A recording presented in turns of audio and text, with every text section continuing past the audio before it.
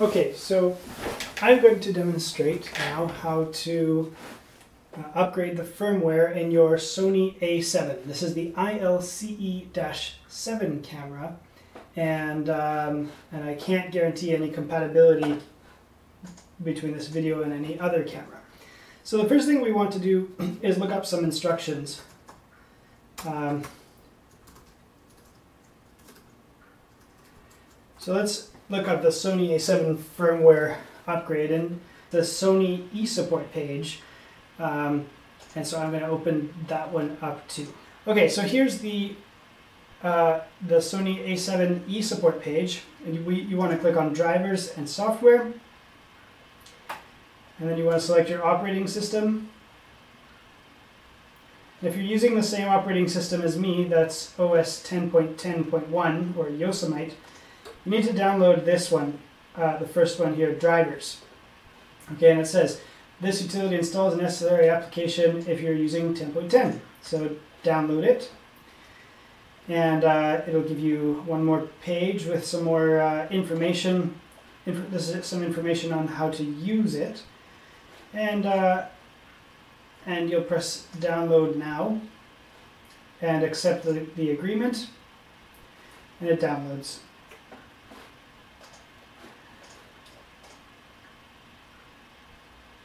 Okay.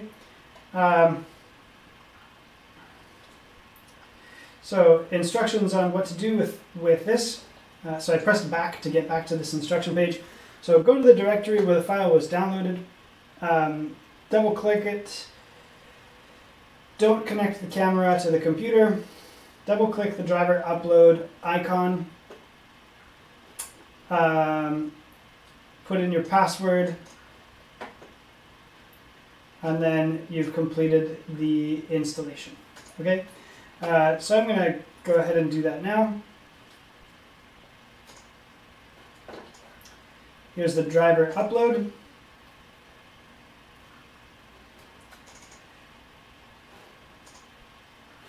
I double click it, I put in my password, and that's it. It's supposedly done something and installed. Okay, so we're done with that. We'll press back, select our operating system again, because it doesn't seem to remember, and you click on firmware. Now, uh, we want the ILCE7 camera firmware upgrade. But before we do this, let's just double check that we do have that camera. So, turn your Sony A7 on,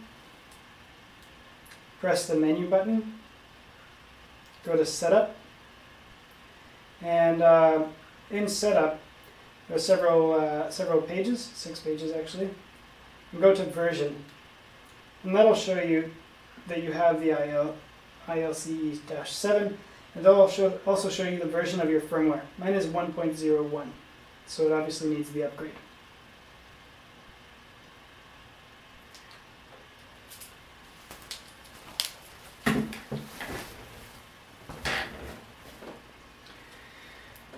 Okay, so uh, we'll press download here. The first thing we want to do here is uh, shut down all other programs. So I'm simply going to quit Chrome. And the first thing that you're going to want uh, to do is to prepare the camera for the firmware upgrade. Once again, these instructions are on the Sony eSupport page. And, uh, and I am looking at them now. Power the camera on. Press the menu button. Go to Setup and then to um, USB connection. USB connection, set that to mass storage. Okay, and now the camera is uh, ready. So I'm just going to turn the camera off and proceed by opening up the firmware updater. Uh, the next step was to make sure that your computer isn't going to go to sleep and uh, so I'll just check my, ener my uh, energy saving settings and just tell the computer to uh, never go to sleep. Okay, the next thing is you want to uh, go to the directory to which you downloaded the, um, the .dmg file um, and open that up and it loads, it mounts it as a disk. Uh, and then you're going to double click the firmware updater app and it's going to probably give you a warning about this, but just open it anyway. And um, and then put in, give it administrator powers by putting in your computer's password, and you'll end up with this screen. So here the instructions are to turn on your camera, um, set it to mass storage as we just did, uh, and connect connect the camera to the computer with the USB cable. So it doesn't say to turn it off first, so I guess we'll we'll do what it says and see what happens. Okay, so we'll turn on the camera. As you just saw a few moments ago, we did change the mass storage, uh, so change the USB connection mode to mass storage. Plug in a micro USB cord, plug that into my computer, and um, uh, and the camera asks me this question about about um, Sony software. So I'm just going to press OK to get rid of that because I don't think that's part of it. Right. We're going to press next now.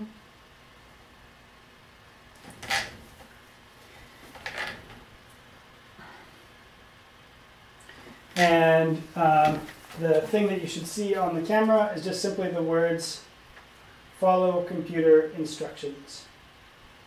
We're going to press next again.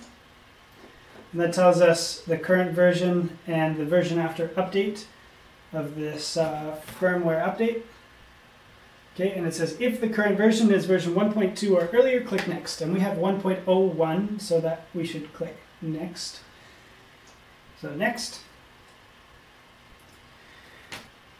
So the camera screen there says reset device. So I'm just going to press the, uh, the round button in the middle there of the dial and that will, that will reset the device.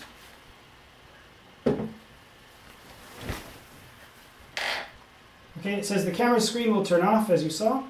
Click next in the firmware. So the only thing now that we need to do is click run to start the update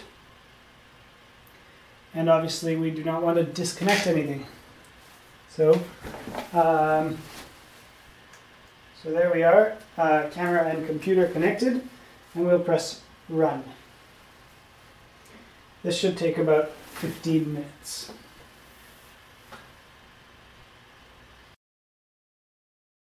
The update has completed, and so so I, I was just at run the update step, and now I'm at finish the update gives you some, uh, some instructions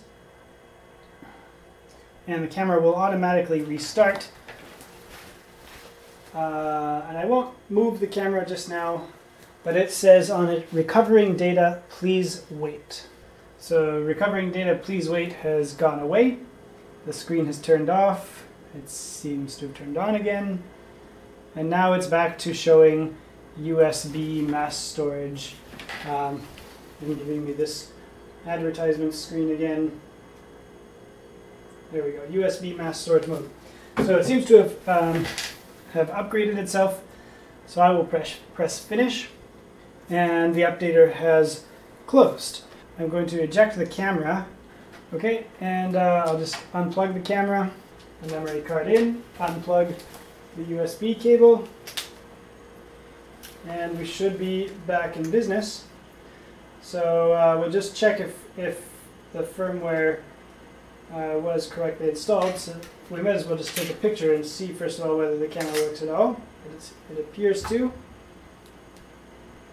Go to setup, go to the last page, version, and there we go, uh, version 2.00. So the firmware has been upgraded, and uh, there you go. I guess one of the things it's supposed to do is start up quickly, and I've turned it off and immediately turn it back on. That seems to be fairly responsive. Um, but yeah, the rest of the rest of the uh, new features we'll have to see about later. So that's how to upgrade it if everything goes right in any case. Uh, and thanks for watching.